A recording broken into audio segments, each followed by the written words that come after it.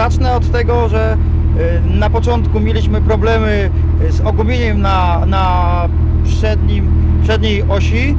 Y, Były problemy, że auto nie skręcało, aczkolwiek później założyliśmy opony już, które naprawdę spisywały się bardzo dobrze. Było super, jesteśmy zadowoleni na mecie, cali, szczęśliwi, auto całe.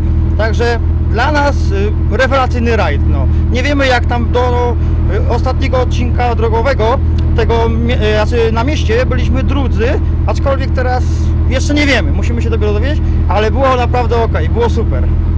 Dzięki. 29, Waldemar Janecki, Grzegorz Kwiecień, BMW 318 SI.